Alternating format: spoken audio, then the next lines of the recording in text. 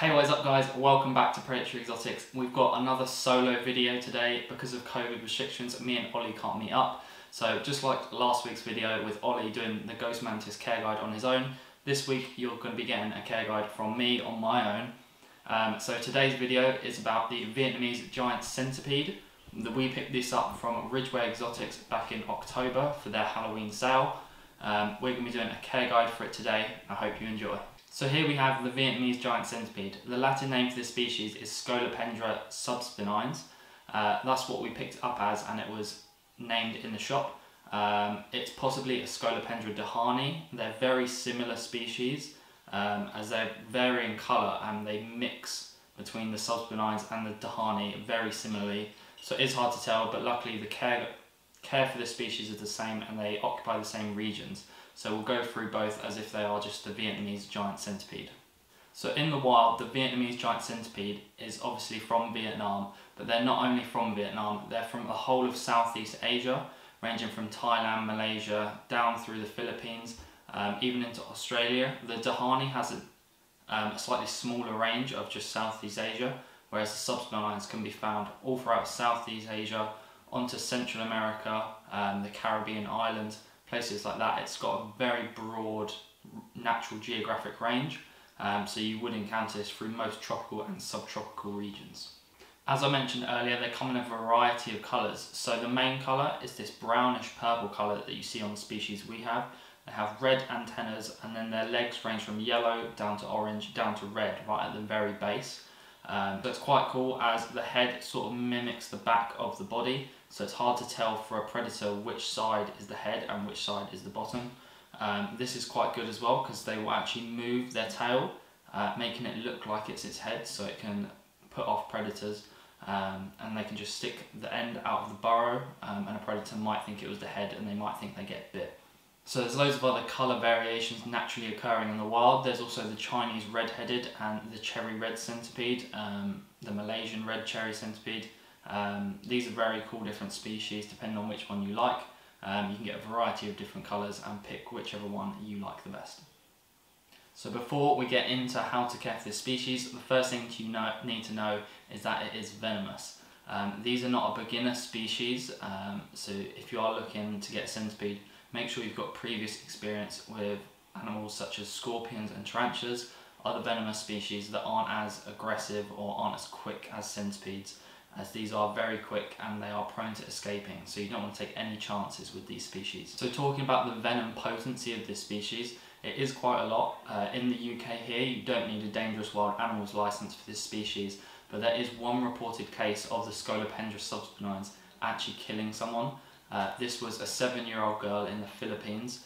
Um, she was bitten in the head and it took about 28 hours for the effects of the venom to actually kill her.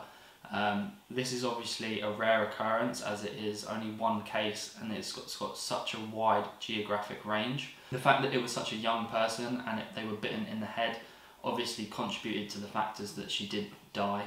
Um, it's usually people that are younger, older, have previous health conditions that, that are going to be at risk of the venom. Also, if you are allergic to the venom, you could go into anaphylactic shock. This has actually happened um, quite a lot and we've heard stories of in the UK people getting centipedes and them going into anaphylactic shock when they get bit. So don't take any, um, so make sure you take all precautions with this species. Make sure you grab yourself a nice long pair of tongs so that you don't have to be too near the centipede and make sure you're keeping it safe like in a separate box and then transfer it into the container like I'll show you in a bit um, nice and safely without any, taking any risks. So the Vietnamese giant centipede is one of the larger species of centipede. They can reach around 8 inches in length, possibly larger. Um, this is a very large centipede species um, and that's why you need to keep it in a large enclosure like I'm about to tell you. So now that you know where the Vietnamese giant centipede is from and that it is a very venomous species, now let's talk about how you would care for one if you do decide to purchase one. We keep ours in a critter keeper. Um, this is about 40 centimetres long 20 centimeters wide and then another 30 centimeters tall. Um, ideally, you might even want a bigger enclosure than this as the safest way to keep your centipede is to have the um, height from the top of the substrate to the top of the enclosure to be longer than your centipede. This way the centipede can't climb, they can't climb smooth surfaces, so your centipede won't be able to get onto the roof of the enclosure and possibly escape. Luckily these have clips all the way around and a clip top lid so there's no chance of it escaping. With this one, uh, as you might have seen in previous episodes, the centipede can actually get onto this uh, sort of ridge around the side. Um, we've checked it, we keep it in another enclosure, so even if it did escape, it would be inside another enclosure, but it can't get through the bars. Um, but if you had a smaller centipede species, it might be able to get through, so just be careful on what enclosure you choose. You might want to choose one with a clip top lid, just with some air holes, so that there's zero chance of it escaping. As I said earlier, they're found in tropical and subtropical regions in South, East Asia and Central America. This means they like it humid. So you are going to want to use a thick soil substrate. We use Arcadia Earth Mix Jungle. This is really good at holding in humidity um, and it's great for your species as it will keep the humidity high um, and allow them to burrow naturally. So they do burrow quite a lot. They will make tunnels all throughout the substrate. Um, these tunnels will hold in the Arcadia Earth Mix Jungle very well and they can create their natural burrows in the substrate which is really important for them. So once you've got your substrate, that's all you really need because their burrows will act as a hide. We've chosen to put a fake Exoterra T-Rex skull in there just for a bit of decoration. This means that it can start its burrow in the hide if it so wishes. It feels a little bit more comfortable and provides some climbing spaces um, just so that they're enriched when they're walking around the enclosure. Also we put some Ardisia leaves from the Exoterra dual layer floor pack. Um, this is just a bit of decoration, makes it look a bit more naturalistic um, as you don't really just want a tub of dirt, it's a little bit boring. The only other thing we've added to the cage is a small Exoterra water dish. This is going to raise humidity a little bit more, also providing an area where the, the centipede can go to drink if it so wishes, even though it will get most of the water content from the prey it consumes. So I keep mentioning they're tropical and subtropical species and the humidity needs to be high. You need to keep the species around 70 to 80% humidity this means spraying it down two to three times a week, sort of every other day, will keep the humidity nice and high, but you don't want it too damp or stagnant as this can create mould inside the enclosure, which won't be healthy for your centipede. Also, they like it a little bit warmer. Um, you can keep this species at room temperature if you have a warmer house. If your house stays around 20-21 degrees, that's perfect, but if it drops below that 20 degree mark, you might want to put an additional heater on this species. So for the first few days we kept it without a heater and then we decided to add an extra heat mat. We put a 7 watt heat mat just on the back of the enclosure so if it decides to build a burrow on the back of the enclosure it will be a little bit warmer than the rest of the enclosure. We set this to around 24 degrees. This means it keeps it nice and happy and healthy at that sort of temperature. Anything over 30 degrees is a little bit too hot. You want to keep it in the mid 20s for the perfect temperature. So let's talk about the most exciting thing about your centipede that's feeding it. They are very aggressive hunters and they're nocturnal, so they will venture out of their burrows at night to search for prey. They're not a sit and wait predator, even though sometimes they might sit in the burrow. They will actively prowl the enclosure at night looking for its next meal. They're also very quick, so as soon as you drop that prey item in there, they'll curl up on it a bit like a snake or a constrictor would do um, and bite it and inject that venom into it, killing it instantly. Like most invertebrates, you feed it once or twice a week, um, especially as you're feeding them large prey items. Once a week, feed them a couple of large locusts, they will devour these, and if they do eat both of them, um, maybe put an extra one in a couple days later, but mostly keep it till once a week. This so your centipede doesn't get too overweight, as you will start to see the segments bulging. Um, it's nice to know that it's healthy, but you don't want it to the point where, especially once they're adult, you don't want that exoskeleton bulging too much as they've already completed their final molts. As you can see, they're quite a large centipede, so they can take on large prey items. In the wild, they would take on items that are bigger than themselves, such as mice and other small mammals, um, but in captivity you can feed them large insects. So the largest locusts you can find are really good for them, and they will munch through them with their chelicerae, which are the two appendages. They're actually modified front legs that inject the venom, they're not fangs, um, and these will inject the venom and kill the prey instantly. There is actually a scientific study where they took a Scolopendra subspinipes um, that was 3 grams in weight um, and they fed it a 45 gram mouse um, and it took the mouse down, bit it, and it died within 30 seconds. So something that's only 3 grams can take out a 45 gram animal in 30 seconds. Um, you don't want to be messing about with this species. So after you've fed your Vietnamese giant centipede, you are going to want to clean up after them. They are one of the messier arachnids when it comes to feeding because they are very primitive. Scorpions and spiders a little bit more evolved than the centipede, even though they're all arachnids, so they do make a bit more of a mess when they are eating. This means that you have to clean up the wings, legs, and other body parts that it didn't get around to eating as it will make quite a mess once after feeding time. So let's talk about handling your Vietnamese giant centipede. Don't. Basically, get yourself a pair of long tongs. You don't want to handle a giant centipede or any centipede for that matter, as you don't know whether you're allergic to the venom, and even if you're not, it can still do a lot of damage and could put you in hospital if you weren't careful. Basically, with a centipede, you just want to watch it and observe it, move it and transfer it from enclosure to enclosure as carefully as you can. Um, even people that handle them um, say that Centipedes do test bites as they walk along, so even if it doesn't mean to bite you, they will walk along your hand, sort of biting, testing out its surroundings, which isn't good when it's a venomous species. So the breeding and incubation species for this species is quite interesting and it was something that would be great to get into.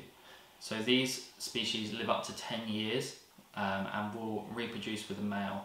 After they've reproduced, they lay around 50 to 80 eggs which the female will actually incubate. She will wrap around them like a snake with her legs coiled around the eggs. She protects them and then once they hatch, she'll have little baby centipedes huddled up in a ball um, and once they've molted once, they will venture off and then you can separate them into different enclosures. The centipedes molt about once a year and it takes around four to five years for them to become adult.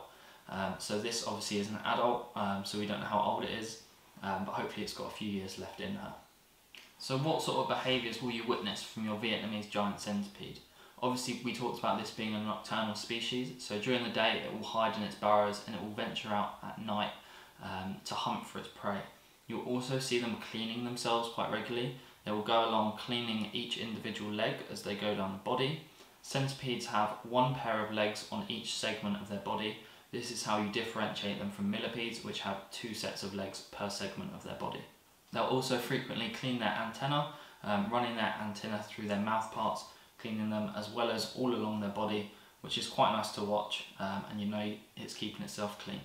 So the most vulnerable stage for your centipede is actually when it's molting. This is when you need the highest humidity. You might want to bump it up to sort of 80-90%. Um, this is, makes it easier for it to slide out of its old exoskeleton and then don't feed it for at least a week after it molts its exoskeleton because it will be very soft and the prey could damage damage your centipede so you don't want to go into the enclosure and interfere with it in any way but wait for that exoskeleton to harden before you can mess around with your centipede. So how much is a Vietnamese giant centipede and the setup going to cost you? Well the centipede itself isn't very expensive, it's around £30 um, I've seen them for £25. We got this one on sale for 15 from Ridgeway Exotics which was great. Um, and the setup is also very basic. So you're going to get yourself a large critter keeper like this one. This is about £10 if you buy it new. A bag of Arcadia Earth Mix Jungle is around another 10 to 15 pounds. Um, and you don't really need any other decoration apart from the water bowl. So you can set up the whole enclosure for not a lot of money, but you do still need to be an advanced keeper if you are keeping Vietnamese giant centipedes. So before we finish the video, let's throw in a clip of how you safely transfer your giant centipede into its enclosure without any mishaps, keeping everyone as safe as possible. So here is obviously our Exoterra faunarium. It has clips along all the sides. So it keeps it nice and safe and it means it's nice and secure for your centipede. When you're transferring your centipede inside its new enclosure, always use the long tongs like I said earlier this keeps you as far away from the centipede as possible um, and if needs be you can move the centipede away without using your hands as you don't want to get bit by this centipede. So without further ado, let's transfer it into its enclosure um, and watch it move around and possibly make some new burrows as I did upset the enclosure just before this video.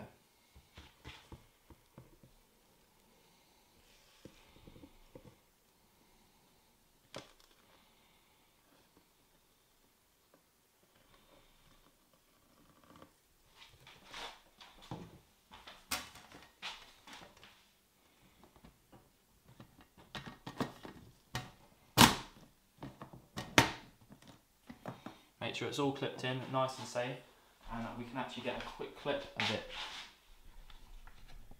actually drinking from the water bowl, which is actually quite a rare sight to see.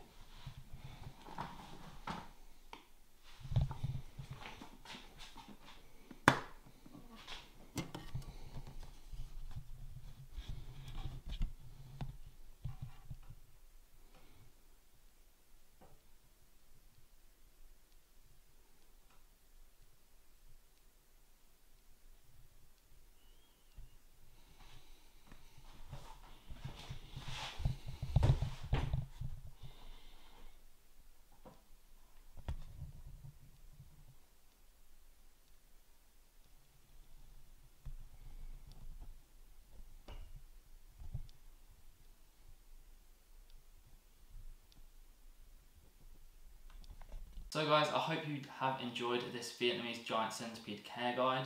Obviously it is a little bit different me being on my own um, and it's a little bit hard to, to remember everything you've got to say. Um, I hope I've covered everything. If I haven't, um, please ask us any questions in the comments and we will answer them straight away. So without further ado, let's wrap up this video. Please leave a like, comment and subscribe to the channel Predatory Exotics as well as going over to Instagram and following us there. You see daily updates on all of the species that we keep as well as extra feeding clips and stuff like that of species like this, which is really cool to watch. So don't forget to tune in to all of our other episodes as well as the Friday feature video. We've got a new series running on Monday, so go check that out, as well as the podcast every Wednesday. So we'll see you in the next video. Bye guys.